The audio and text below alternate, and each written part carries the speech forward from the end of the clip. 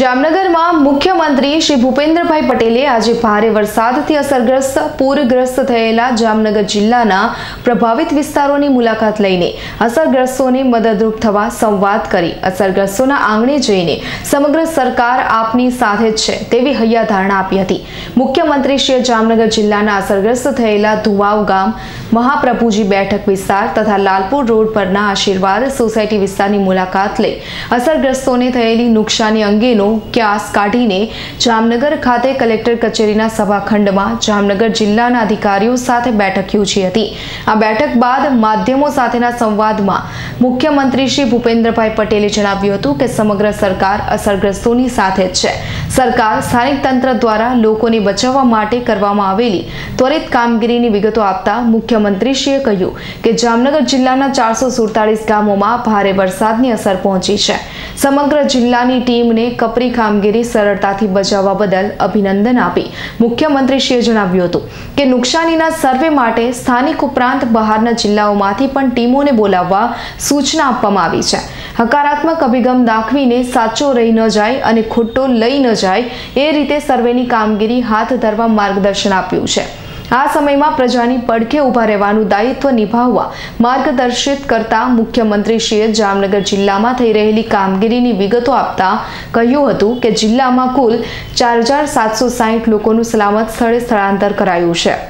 એકસો ચુમ્માળીસ લોકોને એનડીઆરએફ, એસડીઆરએફ તેમજ એરફોર્સ દ્વારા રેસ્ક્યુ કરી બચાવવામાં આવ્યા છે. છેતાળીસ ટીમો સર્વે માટે હાલ કાર્યરત છે.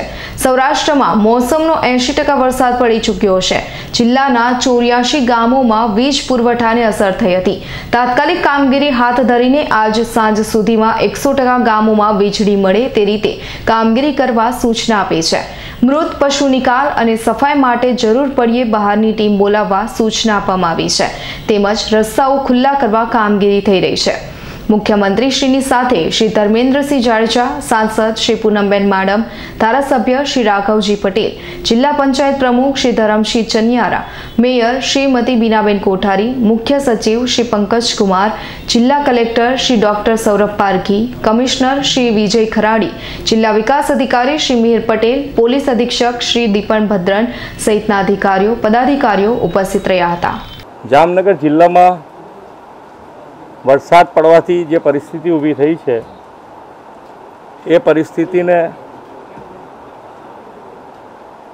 સરકારી તંત્ર, એટલે કે કલેક્ટરની ટીમ અને કમિશનરની ટીમે સાથે પોલીસ તંત્ર ખડે પગે ઊભું રહી અને જે રીતની કામગીરી કરી છે, એ ખૂબ સારી રીતે લોકો એમનાથી સંતોષ છે. એટલે એનાથી મને પણ સંતોષ છે કે ભાઈ પબ્લિકને સંતોષ એટલે એ મારો સંતોષ છે. સૌથી પહેલાં તો ગ્રામ્યમાં જે વરસાદની પરિસ્થિતિના કારણે ચાર હજાર સાતસો ને સાહીઠ લોકોને સલામત સ્થળે સ્થળાંતર કરાવ્યું છે. એકસો ચુમ્માલીસ જણાને રેસ્ક્યુ કર્યા છે. અત્યારે પ્રાથમિકતા જે જોતા એકતાલીસ હજાર હેક્ટર જમીનને અત્યારે નુકસાન દેખાઈ રહ્યું છે. બધી જુદી જુદી ટીમો બનાવીને સફાઈ, આરોગ્યની ટીમ, સર્વેની ટીમ બધું બનાવી અને કામકાજ અત્યારે શરૂ કરી દીધું છે. જે વીજળી ગઈ છે ચોર્યાસી ગામોમાં, એ કાલ સાંજ સુધીમાં લગભગ સોએ સો ટકા વીજળી ચાલુ થઈ જશે. શહેરમાં પણ એ જ રીતે નીચાણવાળા અમુક ભાગોમાં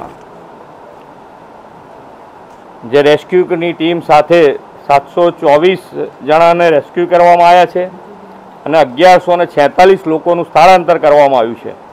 અને લગભગ દસેક હજાર ફૂડ પેકેટ બનાવી અને દરેક જણને પહોંચતા કર્યા છે. અને અહીંયા પણ ખૂબ સારી કમિશનરની ટીમે પણ ખૂબ સારી રીતે કામ કરી અને સફાઈ અને આરોગ્યની ટીમ સાથે રહી અને જેટલું બને એટલું ઝડપથી આ સફાઈ થઈ જાય અને ક્યાંય રોગચાળો ના ફેલાય. પશુધનને પણ ખૂબ મોટું નુકસાન અનિમય થયું છે. ખેતીની સાથે સાથે એનો પણ સર્વે કરવાનું કીધું છે. એનો પણ સર્વે થઈને આવશે એટલે એની પણ જે સરકારી રીતે જે મદદ પહોંચાડવાની છે એ પહોંચાડીશું. અને હજુ પણ વરસાદની શક્યતાઓ છે. એટલે જોઈએ કે ભાઈ આજે આજની જ શક્યતાઓ છે ને? આજની જ. શક્યતાઓ છે કે ભાઈ સાંજે આઠ વાગ્યા પછી હજુ વરસાદ પડે. તો એ બધું જોતા સર્વે ને બધું કરી અને ફરીથી જેને પણ જે નુકસાન થયું છે, એને ખૂબ સારી રીતે સરકાર મદદ કરી અને ફરીથી જનજીવન રાબેતા મુજબનું થાય, એનો જેટલો બને એટલો ઝડપથી પ્રયત્ન કરીશું. હર્ષલ ખંધેડિયાનો રિપોર્ટ એસઆઈ ન્યૂઝ જામનગર.